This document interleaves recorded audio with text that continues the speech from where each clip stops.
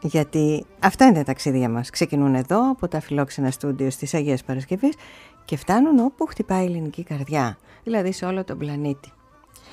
Σήμερα καλεσμένος μου είναι ένας ε, ε, αγαπημένος άνθρωπος, μια δυνατή προσωπικότητα και ξεχωριστή που τον θαυμάζουμε πάρα πολύ και εδώ στην Ελλάδα αλλά και στο Παρίσι όπου διδάσκει και η ζωή του είναι μοιρασμένη τουλάχιστον όσα χρόνια τον γνωρίζω εγώ μεταξύ Γαλλίας, Ελλάδας και που αλλού πάει και θα πάει θα μας τα πει ο ίδιος.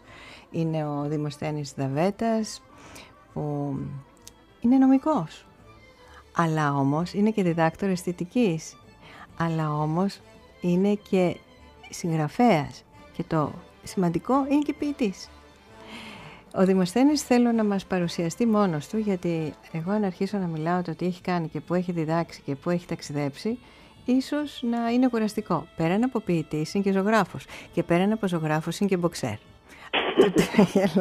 Καλώς όρισες Δημοσθένη. Καλώς, καλώς σας βρήκα όλους και, και εσάς και τους αγνώστους της ακροατές. Ε, Μίλησα μας λίγο για σένα, λίγο, λίγο. Ναι, ένα μικρό πορτρέτο θα κάνω. Έτσι. Ζωγραφικά, Φανταστείτε, ναι, φανταστείτε, ας ξεχεί πολύ γρήγορα, συνοπτικά, φανταστείτε ένα νεαρό παιδί το οποίο όταν ήταν νεαρός στο σχολείο ε, έκανε πολλά Του άρεσε να γράφει, να ζωγραφίζει, να κάνει αθλητισμό. Και γύρω του φανταστείτε μια ομάδα ανθρώπων από πολύ στενούς μέχρι τους διδασκάλους ναι. οι οποίοι να θεωρούν ότι αυτό το πράγμα είναι έλλειψη συγκέντρωσης και ότι θα πρέπει επιτέλους να αποφασίσει τι απ' όλα θα κάνει. Ε, δείτε τώρα αυτό το παιδί μέχρι να πάει στο πανεπιστήμιο να είναι αρκετά ζαλισμένο διότι από παντού δέχεται κριτική ακριβώς γιατί έχει πάρα πολλά πράγματα που θέλει ή επιθυμεί να κάνει. Και έρχεται η ώρα που αφού τελειώνει το πανεπιστήμιο στις σπουδές της νομικής να πάει στη Γαλλία και εκεί ξαφνικά εκεί που νόμιζε που ήθελε να πάει στη Γαλλία για να γλιτώσει λίγο να ηρεμήσει κάπως από όλο αυτό το περιβάλλον κριτικής που δεχόταν στη χώρα του, στην Ελλάδα ξαφνικά βλέπει τους ανθρώπους γύρω του εκεί να τον αγκαλιάζουν λέγοντας ότι αυτή η πολυμέρεια είναι στοιχείο πολυεκφραστικότητας και ότι πρέπει να το διατηρήσεις διότι αυτό είναι η δύναμή σου. Και εκεί βέβαια αυτός ο νεαρός που είμαι εγώ, που ήμουν εγώ, και είσαι, ε, καλά το πες. Ναι. Αυτός ανακαλύπτει ότι τελικά δεν θα έπρεπε να κόψει όλα αυτά που έκανε και αρχίζει ένα-ένα να τα εργάζεται, να τα, να τα σμιλεύει και να προσπαθεί να τα βάλει σε τάξη ώστε να μπορεί να είναι ουσιαστικά πολυπράγμων. Με αποτέλεσμα να γράψει ε, μυθιστόρημα, να γράψει ποίηση κατεξοχήν, να γράψει δοκίμιο, να διδάξει ε, στο Πανεπιστήμιο και συγκεκριμένα τώρα στη Σορβόνη, στο Παρί 4, ε, να ασχοληθεί με την πολιτική ανάλυση, να κάνει αθλητισμό και να κάνει και πολλές εκθέσεις ζωγραφικής. Χωρίς να νιώθει ότι το ένα αντιμάχεται το άλλο. Απέναντίας, το φυσιολογικό δεν είναι αυτό. Ναι, μόνο που εδώ όταν ήμουν στην, ε, στον τόπο μας έπρεπε κατά την άποψη του περιβάλλοντος να βρω οπωσδήποτε ένα από όλα να κάνω. Έτσι, έτσι, τα έχω περάσει. Ναι.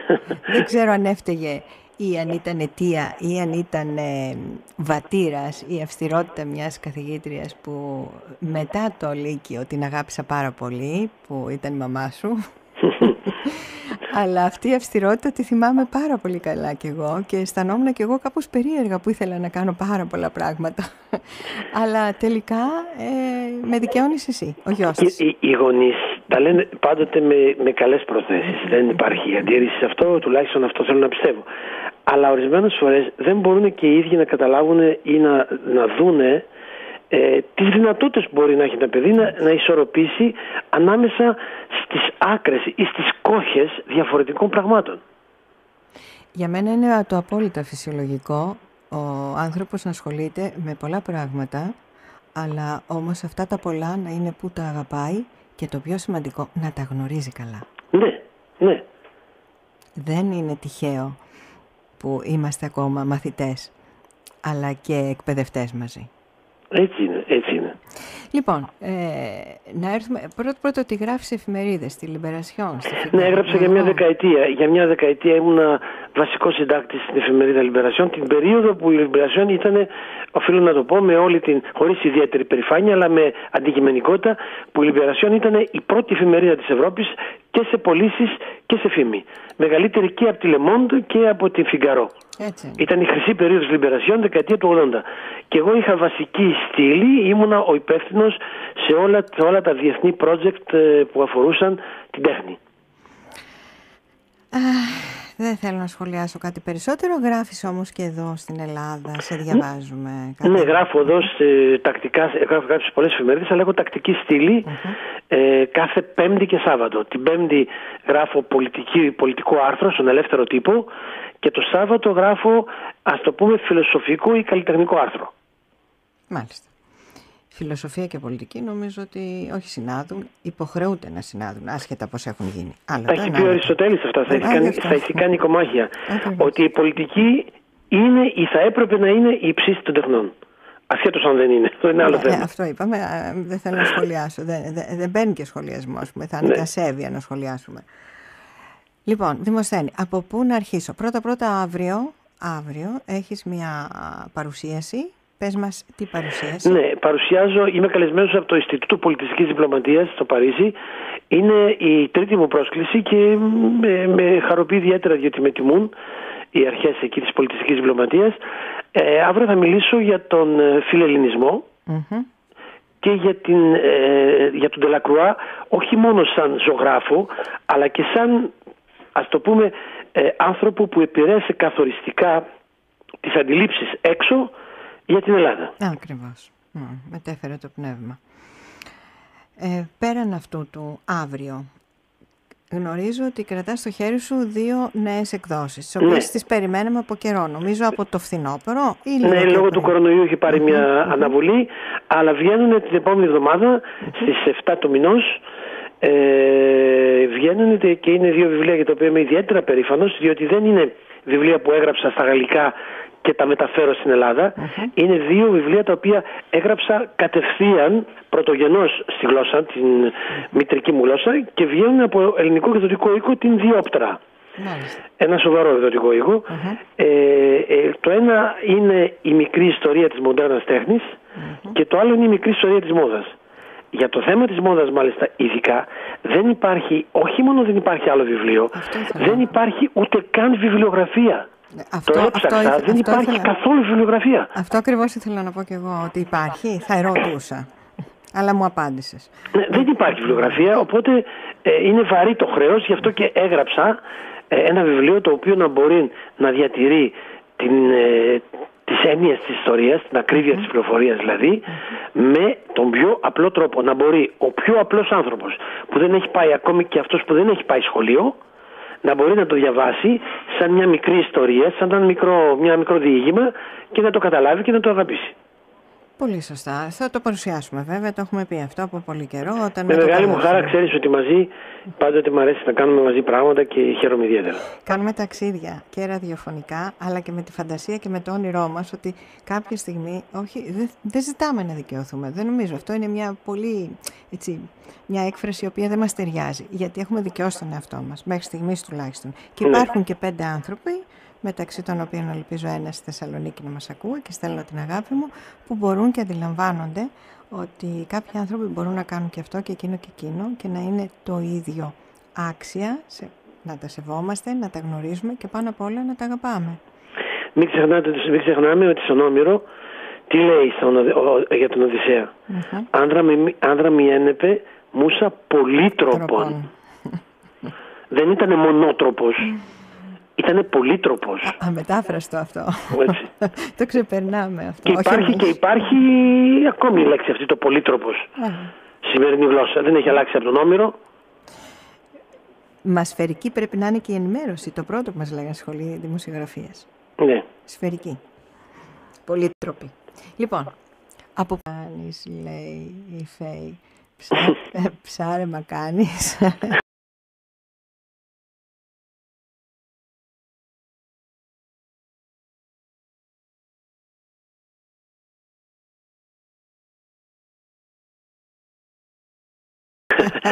Πες της, όχι, ψάρμα δεν κάνω αυτό. Άμα, ε, ε, ε, της φέρει πολύ ωραία ερώτηση. Θα πω μια ιστορία στα γρήγορα. Ε, εγώ είμαι ένας, ε, βασικά ένας λάτρης των ζώων, ε, όχι από ιδεολογία, αλλά γιατί όταν ήμουν μικρός που έβλεπα που ψαρεύαν εκεί στην Κέρκυρα, γιατί μην ξεχνάτε ότι μητέρα, μην ξεχνάμε ότι η μητέρα μου ήταν από την Κέρκυρα και έχουμε το σπίτι εκεί και πηγαίνω στην Κέρκυρα πάντα. Δεν το ξεχνάμε αυτό καθόλου. Ναι. Και να το ξεχάσουμε, και όταν πήγαινα στη Γαρίτσα ναι, ναι, ναι, ναι. και έβλεπα ε, που ψαρεύαν mm-hmm. και ήμουν μικρούλης και έβλεπα τα ψάρια που σπαρταράγαν. No, πόναγε μέσα, μέσα το στήθος μου και πήγαινα δίθεν κρυφά και τα κλώτσαγα και τα έριχνα στη θάλασσα. Και αυτά φεύγαν ξαναζούσαν και με κυνηγάγανε οι ψαράδες. και λέει φύγε από εδώ, ρε, δουλεύω όλη την ημέρα. τι άνθρωπος είσαι, και πήγαινε στη μητέρα μου και λέει μάζεψε το μικρό. και μου λέει τι κάνεις. και λέω βασανίζονται, λέω, δεν βλέπεις πως χτυπιόνται. Έτσι μου λέει, ναι, μου λέει η μητέρα μου, έτσι τα έχει φτιάξει ο Θεός. Τα τρώνε οι άνθρωποι τα ψάρια. Ε, εγώ δεν πρέπει δηλαδή ακόμη και όταν χρειάζεται να φάω κάτι, πρέπει να μην υπάρχει η μορφή του ζώου. Έστω και μοιάζει λίγο υποκριτικό έτσι όπως το λέω και προσπαθώ να κάνω abstraction, δηλαδή να μην το ναι. δω, αλλά δεν, πρέπει, δεν θέλω να βλέπω τη μορφή του ζώου. Νομίζω ότι το ζώο με κοιτάει. Ε, Είναι σαν να κοιτάω τον εαυτό μου. Ε, ε, ε, μπορώ να το καταλάβω αυτό. Κάνεις ανάκληση και αναβίωση της μνήμης της παιδικής εκεί στη ναι. Γαρίτσα. Λοιπόν, μακριά από την Ιταία λοιπόν. Όχι. Ε, πολλά, στη ΦΕΗ πολλά χαιρετίσματα και πολλά, πολλά φιλιά στην Ιταία. Έτσι θα τα δώσουμε γιατί αγαπάμε η Φωκίδα. Λοιπόν, Δημοσθένη Δαβέτα. Ο τίτλος για την σημερινή μας συνάντηση, άσχετα εμείς αν περιφερόμεθα γύρω-γύρω, αλλά στο θέμα μας είμαστε, είναι η εκπαίδευση σημερινή και πόσο έχει επηρεαστεί και αν έχει επηρεαστεί από την Επανάσταση του 21. Λοιπόν, καταρχήν μία παρατήρηση που θέλω να κάνω. Η Επανάσταση του 21, όπως όλες οι μεγάλες ας το πούμε ιστορικές στιγμές στην ιστορία της Ελλάδος θα έλεγα και των άλλων λαών αλλά ας μείνουμε σε, αφού μιλάμε για μας είναι, ε, ε, συγκεντρώνονται γύρω από συγκεκριμένες από κάποιους ήρωες η έννοια του ήρωα που έχει να κάνει με την ήρα ναι. την ήρα, της θεά ήρα και με το ηρώον. Μ' αρέσει αυτό το, το παιχνίδι και το ξέρεις ναι. καλά σε εισαγωγικά. Ε, αυτό το πράγμα, η έννοια του ήρωα είναι κάτι πολύ σημαντικό. Οι άνθρωποι όπως λέει και ο Πλάτωνας και ο Αριστοτέλης αλλά και ο Όμηρος μεγαλώνουν κατά μίμηση μιμούμενοι κάποιους ήρωες στην πορεία η μίμηση αυτή βέβαια εξελίσσεται σε δικιά μας προσωπική πορεία. Αλλά τα πρώτα στάδια είναι να μιμήσει ε, δηλαδή πες μου το φίλο σου να σου πω ποιος είσαι που λέει, που λέει ο λαος και βλέπω ότι στη σημερινή εποχή τώρα για την επανάσταση του 21 οι ήρωες περνάνε σε δεύτερη μοίρα. Προσπαθούμε να αποϊροποιήσουμε αυτούς τους γίγαντες της ελληνικής επανάστασης, αυτούς που ουσιαστικά αυτοί έκαναν την επανάσταση και όχι ξένοι. Ο ελληνικός λαός ήταν που ξεσηκώθηκε και είπε ένα τεράστιο όχι εναντίον των Τούρκων. Ασχέτως αν συνέβαλαν ε, προφανώς και οι ξένοι εκ των υστέρων για, για λόγους στρατηγικούς και συμφέροντα δικά τους. Αλλά πρώτα ο ελληνικός λαός ήταν που ξεσηκώθηκε. Δημοσθένει με αυτά έλεγε και ο Γιώργος ο Καραγιώργης, ο καθηγητής ο πρίτανης του Παντίου. Προχτές ακριβώς αυτά και φώναζε κιόλα. Ναι, είναι εξαιρετικός. το ναι. ξέρω, γνωριζόμαστε. Ε, ναι, Γι' αυτό και θέλω να καταλήξω για να τελειώσω αυτό που έλεγα. Ε, το θεωρώ ότι είναι ε, ε, ντροπή να βλέπουμε διάφορες εκπομπές στην τηλεόραση, στις οποίες ας πούμε ε, να ακούμε ή στο ραδιόφωνο και να ακούμε ότι παράδειγμα στη, στην Τριπολιτσά ε, κάπου ξεχάστηκε μια πόρτα και μπήκαν μέσα. Ε. Μα είναι δυνατόν να ακούμε τέτοια πράγματα; Γιατί, γιατί να αφαιρέσουμε την λεβεντιά των Ελλήνων οι οποίοι έσπασαν την πόρτα ή με γενναιότητα μπήκαν στην ανοιχτή πόρτα; Δεν ήταν γιατί έτυχε να δουν την πόρτα και να μπουν μέσα. Γιατί στόχευαν κάπου με κάποιο τρόπο να μπουν μέσα και να καταλάβουν την Τριπολιτσά. Έτσι. Είχαν σχέδιο. Βεβαίως. Ε, Κολοκοτρώνης. Ε, Ακριβώς. Μα μπορούμε να απαντήσουμε σε αυτά. Εγώ μου κάνει εντύπωση πώς ε, κάποιοι άνθρωποι ασχολούνται να απαντήσουν. Ε, το θεωρώ δεδομένο ότι είναι έτσι. Αυτό ε, και όμως πολλές φορές ακούμε άλλες ε, από, από, από, κανάλια ή από ραδιόφωνα, ακούμε διαφορετικές αντιλήψεις οι οποίες δημιουργούν ένα, ένα, μια μορφή ε, ναι, ε, ομίχλης. Ομίχλης στις πραγματικές, σκόνη στις πραγματικές πληροφορίες. Γι' αυτό και το τονίζω. Αλλά πέρα από αυτό, η Ελληνική Επανάσταση έβαλε τις βάσεις στηριγμένη στην ελευθερία, έβαλε τις βάσεις από τις οποίες ο ελληνικός λαός, μάλλον ξαναέβαλε τις βάσεις, στις οποίες ο ελληνικός λαός ποτέ μα ποτέ δεν απομακρύνθηκε. Και η μεγάλη βάση, η μεγάλη κατάκτηση του ελληνικού λαού ήταν η ελευθερία. Μέσα από την ελευθερία φτάνει η, αυτό που ονομάζουμε ατομική και συλλογική αυτογνωσία.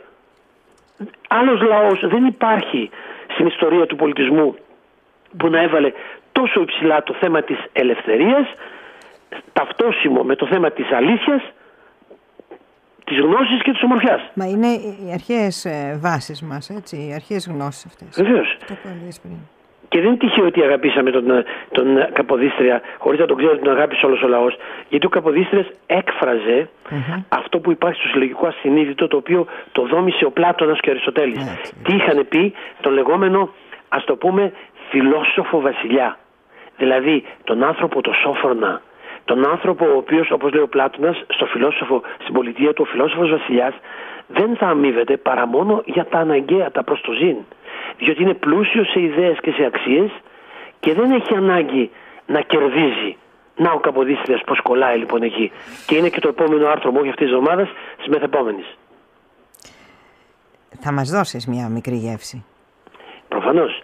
Το θέμα μου θα είναι ο Πλάτωνας, η θεωρία του Πλάτωνα και ο Καποδίστριας.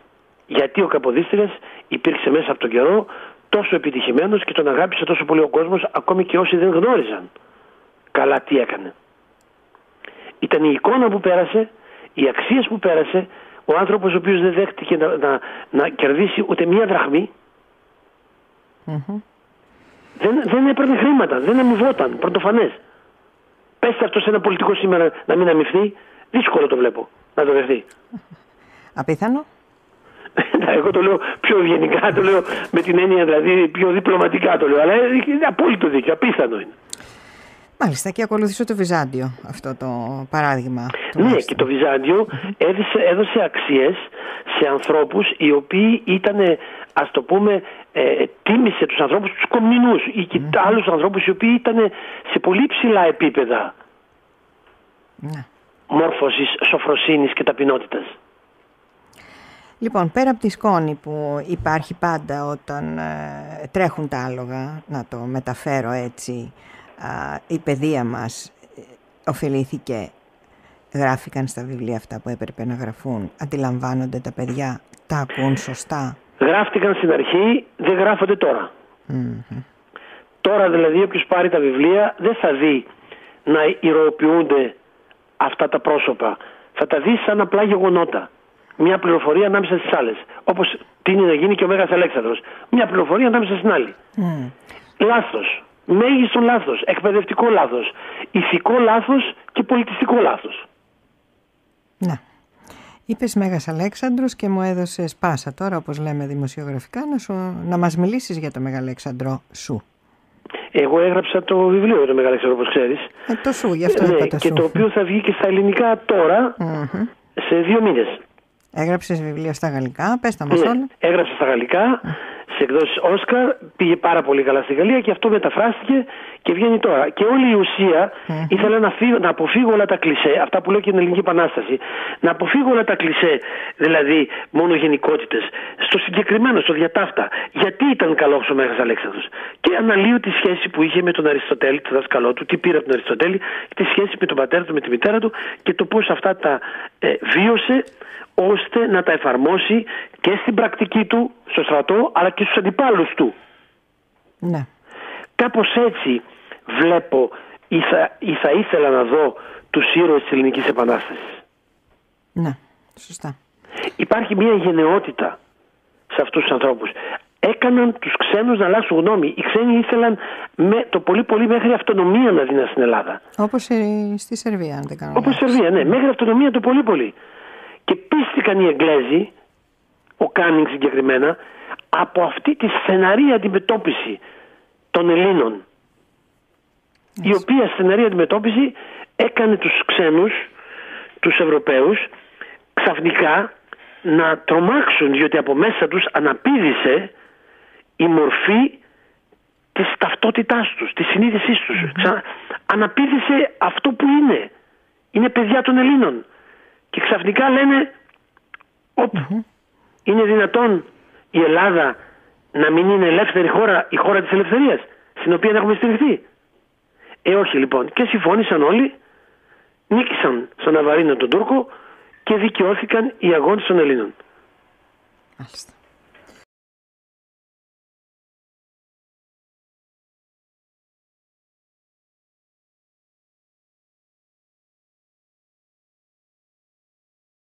Ελλάδα, όπως είπαμε και πριν, Δημοσθένης Δαβέτας, το ένα πόδι είναι στο Παρίσι και το άλλο πόδι είναι στην Ελλάδα εδώ και πολλά χρόνια. Πολύτροπος, στην κυριολεξία, όχι πολύ σχεδής. Σωστό. Σωστό. να, εξηγούμεθα. Μετά τον Απολέοντα, μετά τον Καποδίστρια, μετά τον Αριστοτέλη και τον Πλάτωνα, τι έχουμε; Ε, καταρχήν θα ήθελα να πω δύο για τον φιλελληνισμό. Ωραία. Ε, εννοώ το εξής. Λέμε όλοι ότι ο φιλελληνισμός τον έχουμε ταυτίσει ότι είναι μια υπόθεση, ένα, μια έννοια η οποία ιδρύθηκε από τους ξένους, από το, κυρίως από το 18ο αιώνα με τους περιηγητές που ερχόντουσαν στην Ελλάδα και σιγά σιγά δημιουργήθηκε ένα κλίμα αγάπης στην Ελλάδα. Ξεχνάμε ή δεν γνωρίζουμε και θέλω να το υποθυμίσω εδώ ή να το προτείνω για μάθηση ότι ο όρος απαντάται ήδη στον Ηρόδοτο. Μιλάει για φιλέλληνες και εννοεί τους Έλληνες οι οποίοι πρέπει να αγαπούν τον εαυτό τους. Ένας πραγματικός Έλληνας πρέπει να είναι πρώτα απ' όλα ο ίδιος φιλέλληνας. Ο φιλελληνισμός είναι η αγάπη του Έλληνα προς τον εαυτό του και μετά να περιμένει την αγάπη του ξένου προς τον εαυτό του. Έλα που έχεις και το λέει και ο Πλάτωνας αυτό. Έλα που έχεις δίκιο. Δημοσθένη, ε, μία παρατήρηση από μία φίλη που μας ακούει. Μα ναι. πώς τα συνόψεις έτσι; Πήραμε τον Ναβαρίνο. Αυτό κράτησε 7 χρόνια και της λέω ραδιοφωνικός χρόνος αυτός. Στο ραδιόφωνο όλα συμβαίνουν. Είναι το μαγικό. Μακάρι ναι, να ναι, μπορούσαμε ναι, να απλωθούμε. είναι αυτό, αλλά εάν κάτσουμε να αναλύσουμε ναι. όλα αυτά τα χρόνια, η εκπομπή τελείωσε. Α, ποια εκπομπή, οι εκπομπές; Ε, αλλά έχει δίκιο αυτό που ρωτάει, με την έννοια ότι ε, αυτό όμως που θα μπορούσα να πω πάνω σε αυτό το γεγονός είναι ότι ε, οι περισσότεροι δεν γνωρίζουν ότι ο φιλελληνισμός είναι μια υπόθεση ή τουλάχιστον κάποιοι δεν γνωρίζουν ότι ξεκινάει από εμάς, ότι πρέπει εμείς να αγαπάμε τον εαυτό μας για να μπορέσουν οι άλλοι να μας αγαπήσουν και επίσης ότι υπήρχε πάντοτε στους φιλέλληνες και κάτι το οποίο δεν ήταν άδολο. Δηλαδή, ναι, μεν αγαπούσαν την Ελλάδα, αλλά κοιτούσαν τα στρατηγικά και οικονομικά συμφέροντά τους στην Νοτιοανατολική Μεσόγειο. Εγγλέζοι, Ρώσοι και Γάλλοι εκ των υστέρων. Πρώτα ήταν οι Εγγλέζοι και οι Ρώσοι, μετά μπήκαν και οι Γάλλοι. Γι' αυτό και τώρα τον, ε, τον, ε, το, το Πάσχα ναι. βγάζω από τις εκδόσεις Κάκτο ε, τη σειρά των άρθρων μου για τον Μέγα Ναπολέοντα και για τις ε, μακρινές ενδεχόμενες ελληνικές του μου τις βγάζει ε, ο Κάκτος το βγάζει σε ένα μικρό ωραίο βιβλίο όπου βλέπουμε ότι ο ρόλος που έπαιζε η διπλωματία και η στρατηγική εκείνο τον καιρό ήταν πολύ πιο ισχυρή από τα συναισθήματα και την αγάπη για την πατρίδα. Ε, από τη μεριά των ξένων λέω. Ναι, ναι, κατάλαβα τι λες. Τα συμφέροντα που παίζονταν ήταν φοβερά. Ο Τσάρος ας πούμε ετοίμαζε το γιο του, μιλάει τον ε, Αλέξανδρο, ετοίμαζε το γιο του, του μάθαινε ελληνικά για να μπορεί να είναι έτοιμος να πάρει το θρόνο. Ναι, ναι, ναι, αυτό το Ο Ναπολέοντας θα ήθελε πάρα πολύ να υπάρχει στο θρόνο του ελληνικό ένας Στεφανόπουλος. Mm-hmm. Από αυτούς τους οποίους λέγεται ότι έχει καταγωγή. Από τους πρίγκιπες Στεφανόπουλους mm-hmm. Κομνηνού. Ναι, ναι. Οι Εγγλέζοι ήθελαν να βάλουν κάποιον από το θρόνο το δικό τους. Και επειδή ακριβώς σκοτωνόντουσαν αυτοί οι τρεις, τελικά μπήκε ο Όθωνας, που ήταν βαβαρός και ο οποίος ήταν μια μορφή ουδετερότητας. Και ο οποίος βέβαια δεν τα πήγε πολύ καλά με τον κόσμο, διότι ο κόσμος είχε μια άλλη αντίληψη της ελευθερίας. Αλλά αυτό είναι ένα και νομίζω ότι όταν θα βγει το βιβλίο αυτό για τον ναπολεοντα θα, θα δει, ο κόσμος θα δει πολλά, πολλά πράγματα, πολλές λεπτομέρειες τις οποίες έχω βρει μέσα από την έρευνά μου. Μάλιστα κύριε Δημοσθένη Δαβέτα, ατελείωτος όπως πάντα. Ε, πάμε από το ένα θέμα στο άλλο και όλα έχουν κοινό παρανομαστή. Τη λέξη ελευθερία ναι. που ξεκινάει από την ελληνική ψυχή θα έλεγα εγώ. Ναι. Είπες πριν για τον Ηρόδοτο ότι καταγράφεται ο φιλελληνισμός. Ναι. Την αγάπη της Ελλάδας, την ναι, μιλούσε για κάποιον, ε, κάποιον Αιγύπτιο και έλεγε ότι είναι φιλέλληνες. Αγαπούσε την Ελλάδα. Και μετά μιλούσε ότι πρέπει εμείς να είμαστε φιλέλληνες. Έλεγε ότι εμείς ήδη να είμαστε φιλέλληνες. Την αγάπη αυτού εννοεί. Ναι, Βεβαίως. Μα μόνο στον Ηρόδοτο, στον Ηρόδοτο το έχουμε συναντήσει. Δεν είναι η φιλοσοφία της ζωής το να αγαπήσω τον εαυτό μου τόσο ώστε να μπορώ να αγαπάω και τον πλησίον μου. Βεβαίως. Αλλά λέω, εγώ το ανέφερα ιστορικά. Το αναφέρει και ο Ξενοφόντας και ο Πλάτωνας το αναφέρει αυτό. Ε, ακριβώς. Είναι φιλοσοφία ολόκληρη. Το σπουδάζουμε. Ακόμα τη σπουδάζουμε και όσα χρόνια και να περάσουν και όσο και να μεγαλώσουμε δεν αρκούν για να την αγγίξουμε λίγο. Αυτό που έχει σημασία είναι ότι θα πρέπει να μάθουμε όσο μπορούμε να, είμαστε, να μπορούμε να βρίσκουμε χρόνο για να δημιουργούμε κάτι με εμάς. Όχι μόνο για εμάς, αλλά και με εμάς. Συμμετοχή. Η συμμετοχή. Αυτό το μαζί, έτσι απλά ελληνικά σημερινά. Αυτό το μαγικό μαζί. Το οποίο ακόμα δεν ξέρω πώς παλεύουμε, πώς αγωνιζόμαστε και πώς πολεμάμε να είμαστε χώρια. Είναι απίστευτο αυτό. Ε, δηλαδή υπάρχει μια, σε αυτό υπάρχει μια ιστορία ολόκληρη εδώ στην Ελλάδα η οποία πρέπει να εξηγηθεί μέσα από όρους ε, πολιτιστικού DNA και τοπικιστικών διαφορών. Οι άνθρωποι δένονται με τον τόπο τους και δεν εννοούν να δεχτούν το παραπέρα από τον τόπο τους. Υπάρχει μια, θέλει, σε αυτό θέλει μια ολόκληρη αγωγή και εκπαίδευση για να μπορέσουν να καταλάβουν ότι εκτός από τον τόπο τους και ο διπλανός τόπος μπορεί να αγαπηθεί εξίσου και ούτω καθεξής. Και να μην ενοχλεί θέμα... ο ένας τον άλλον. Έτσι. Ναι. Ο, ο Στέλιος ο Ράμφος είχε, μας είχε μιλήσει εδώ για την ε, τελευταία ε, καλώς, του εργασία. Είναι καλώς, ναι. Ναι, ναι. Για την τελευταία του δουλειά που το ονόμαζε το συλλογικό υποσυνείδητο, το φαντασιακό. Ναι, ναι Αυτό, ναι, το όνειρο της Ελλάδας. Έτσι το όνειρο της Ελλάδας. Αυτό που έχει σημασία είναι ότι πρέπει να καταλάβουμε ότι είναι μια ευκαιρία το 2021 να μπορέσουμε όσο μπορούμε να ενσκύψουμε mm-hmm.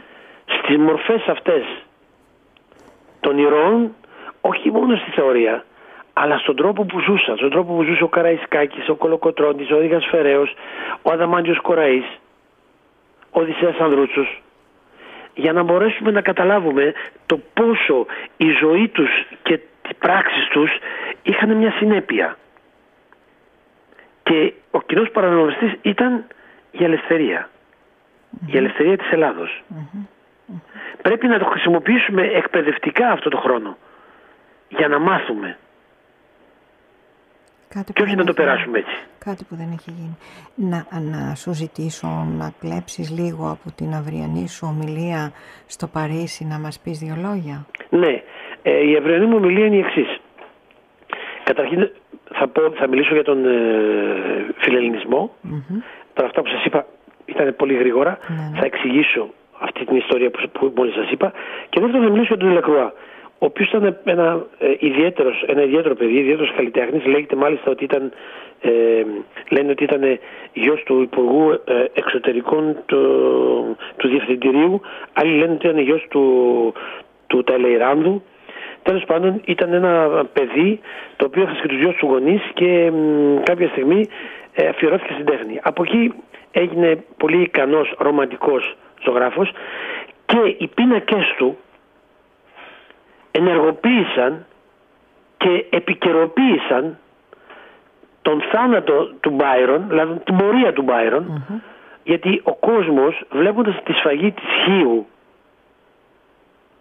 και όλα αυτά τα πράγματα που έχουν γίνει, άρχισε να καταλαβαίνει γιατί ο Μπάιρον ήρθε στην Ελλάδα, άρχισε να καταλαβαίνει τι συμβαίνει και οι Έλληνες θέλουν να ξεσηκωθούν, πώς είναι δυνατόν οι Έλληνες να βρίσκονται κάτω από ένα τέτοιο ζυγό, και αυτό έπαιξε πολύ θετικό ρόλο σε όλο το κλίμα τότε. Μην ξεχνάμε την εποχή που ήταν ο Βίκτορ Ουγκό, ο Σατομπριάν. Είναι όλοι αυτοί οι κορυφαίοι άνθρωποι των γραμμάτων οι οποίοι ενδιαφέρονται για την Ελλάδα. Ο Ντελακρουά παίζει καθοριστικό ρόλο στο να μπορέσει να λειτουργήσει αυτό το λεγόμενο να μιλήσω με όρους που δεν, είναι και δεν, είναι και, δεν μ' αρέσει αλλά το χρησιμοποιήσω επίτηδες έτσι για το brand name. Mm-hmm. το πω έτσι. Ναι το καταλαβαίνουμε έτσι τώρα. Ναι, η τέχνη έχει αυτή τη δυνατότητα αυτή ναι, την ναι, ικανότητα. Ναι, είναι και είναι οικουμενική. Είναι οικουμενική είναι ε, επικοινωνιακή. Μέσα από τα χρώματα την, την υλικότητα και τις μορφές αγγίζει τη συλλογική ψυχή. Δεν είναι ανάγκη να έχεις μια εθνικότητα για να καταλάβεις το ανθρώπινο δράμα ενός πίνακα όπως ο δείχνει ο Τελακρουά. Mm-hmm. Έτσι. Ας μιλάς άλλη γλώσσα Και μόνο που θα δεις αυτή την εικόνα με τις ψυχής τα χαρακτηριστικά, τον πόνο, τον ξεσηκωμό, την αγάπη για την ελευθερία, εκείνη τη στιγμή ταυτίζει και ας είσαι από άλλη γλώσσα, από άλλες παραδόσεις, από οτιδήποτε άλλο. Γιατί σε όλους υπάρχει μέσα τους ανθρώπους μία μικρή ελευθερία που θέλει να ξυπνήσει. Απευθύνεται στα συναισθήματα και αυτό το λέει όλα. Ναι. Δεν έχουν σχέση τα χρώματα, οι ομάδες, τα κόμματα, οι λαοί. Η τέχνη είναι, ε, τα σκεπάζει όλα αυτά, είναι πάνω απ' όλα. Και η τέχνη, όπως λέει ο Πλάτωνας στον Κρατήλο, τέχνη εχνη Έχει νου, λέει. Έχει. Έχει νου. Και άποψη. Ναι, άρα η τέχνη δεν είναι απλά μία ομορφιά. Η τέχνη είναι γλώσσα. Πίσω από αυτή την ομορφιά, την πρωταρχική που μπορεί να δούμε, τις φιγούρες κτλ. Κάτι θέλει να μας πει το έργο τέχνης. Και αυτή τη γλώσσα εμείς θα πρέπει να προσπαθήσουμε να καταλάβουμε. Μέσα από τη γοητεία της πρώτης εικόνας είναι όπως η γοητεία του έρωτα. Ο έρωτας ρίχνει τα, τα φτερά του, ρίχνει το τραγούδι του, γοητεύει κάποιον για να μπορέσει μετά αυτός ο α, ο β ή η α ή η β μέσω του έρωτα να μπορέσει να πάει πιο βαθιά στα πράγματα. Δεν είναι επιδερμική η κατάσταση. Αυτό να τα ακούν πολύ. Ε, γι' αυτό το λέω. Δημοσθένη θέλω να κλέψεις και από αλλού και από άλλο σου άρθρο γιατί πραγματικά λίγο από όλα τώρα μιλάμε, τα πιάνουμε σαν σε τίτλους ειδήσεων αλλά είναι σκέψεις, είναι food for thoughts να το πω και αγγλικά είναι σκέψεις τροφής για, την, για το μυαλό μας και για την ψυχή μας για την Εγώ περισσότερο μας. βάζω στο τραπέζι κάποιες και από εκεί και πέρα ας είναι θέματα συζήτησης με τον ΑΒ τρόπο. Ακριβώς. Λοιπόν, Κάτι διάβασα την περασμένη εβδομάδα στο άρθρο σου. Θέλεις να μας μιλήσεις γι' αυτό λίγο; Για ποιο απ' όλα, για ποιο άρθρο. Ναι. για το τελευταίο. Α, γι' αυτό για το, για το καποδίστρια που είχα πει. Ναι, αυτό το οποίο το δουλεύω. Ε, εγώ πιστεύω ότι ο, ο, οι Έλληνες αγάπησαν τον Καποδίστρια πάρα πολύ. Και πολλοί μάλιστα δεν γνώριζαν τις οποιασδήποτε διοικητικές επιτυχίες του Καποδίστρια. Τον αγάπησαν από αυτά τα οποία άκουγαν για αυτόν από την ταπεινότητα που είχε. Από το γεγονός ότι δεν έπαιρνε χρήματα, δεν πληρωνόταν. Από το γεγονός ότι ήταν σόφρον, λογικός. Αυτό μας δείχνει για άλλη μια φορά τον τύπο του ηγέτη, τον οποίο οι Έλληνες πάντοτε αγαπούσαν και τον εκφράζει καταπληκτικά ο Πλάτωνας στην πολιτεία του. Που λέει ότι ε, ο ιδανικός ηγέτης είναι ο βασιλιάς που είναι φιλόσοφος ή ο φιλόσοφος ο οποίος θα γίνει βασιλιάς. Δηλαδή ένα είδος σοφού, σόφρον άνθρωπου. Και ο, ο Καποδίστριας ήταν, ενσάρκωνε αυτόν τον σόφρον άνθρωπο. Πολλές φορές δεν του είπανε να πληρωθεί. Και λέει είναι δυνατόν να πληρωθώ όταν οι Έλληνες δεν βγάζουν μία δραχμή. Αντίστοιχα λέει ο Πλάτωνας στην πολιτεία, ο ηγέτης, ο βασιλιάς φιλόσοφος δεν πρέπει να αμείβεται λέει γιατί είναι πλούσιος από ιδέες και από αξίες. Κάποιοι που θα τα ακούσουν αυτό θα πούνε μα τι λέει τώρα αυτά γίνονται αυτά τα πράγματα σημερινή εποχή. Δεν έχει σημασία αν δεν γίνονται. Δεν έχει σημασία αν η πλειοψηφία δεν το πιστεύει ή έχει πάψει να το πιστεύει. Σημασία έχει ότι υπήρξαν κάποιοι άνθρωποι οι οποίοι ζήσαν έτσι. Και αυτοί οι άνθρωποι μπορούν να γίνουν ένα μικρό παράδειγμα στο να ξέρουμε ποιους θα επιλέξουμε στην Α ή Β χρόνο για εκπροσώπους μας στο κοινοβούλιο, στη δημοκρατία ή οτιδήποτε άλλο. Μόνο αν μάθουμε και καταλάβουμε καλά. Έτσι. Μην ξεχνάμε από και ένα άλλο παράδειγμα ότι όταν η Φρυδερίκη, διάβαζα προχθές, πήγε να δει τον, τον πλαστήρα στο σπίτι του, ο οποίος πέθανε με 173 173 δραχμές στο λογαριασμό του. Δεν είχε ούτε έξοδα κηδείας του. Mm-hmm. Δύο φορές πρωθυπουργός. Και τον είδε κοιμάται σε ένα ράντζο. Και του λέει Φρυδερίκη, Μα Νίκο, πού κοιμάσαι, τι είναι αυτό που κοιμάσαι; Πρωθυπουργός. Είναι και λέει, κοιμάμαι στο ράτζο που, κοιμώνται, που κοιμώνται όλοι οι Έλληνες. Μάλιστα. Να μείνουμε εδώ. Νομίζω ότι αυτό είναι αρκετό.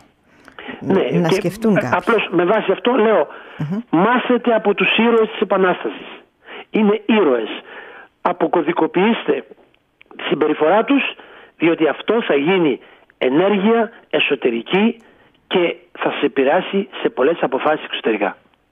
Και για την προσωπική μας ζωή. Βεβαίως. Γιατί... Αυτό είπα εσωτερικά πρώτα. Όλα, ακριβώς. Όλα αυτά ε, έχουν μια συνέχεια. Είναι ελένδετα. Όλα αυτά. Ε, μακάρι να είχαμε και άλλο χρόνο. Ξέρεις πολύ καλά ότι είναι περιορισμένος. Δεν πειράζει. Τα ουσιαστικά που έπρεπε να πούμε αυτά τα, τα, τα λίγα, τις στιγμές, γιατί βασικά για στιγμές μιλάμε, Νομίζω ότι τα είπαμε. Ελπίζω να, να, να υπήρξα κατανοητός και οι άνθρωποι να καταλάβαν κάποια από αυτά τα πράγματα που είπα, να μην με θεώρησαν ότι είμαι ελιτίστας, το ελπίζω. Όχι, δεν είναι καθόλου ο Δημοσθένης. Είναι ένα παιδί απλό που εμείς παιδί το γνωρίσαμε και παιδί θα μείνει. Σε ευχαριστώ πάρα πάρα πολύ για άλλη μια φορά. Και εγώ ευχαριστώ. Ευχαριστώ και όλους τους φίλους ακροατές που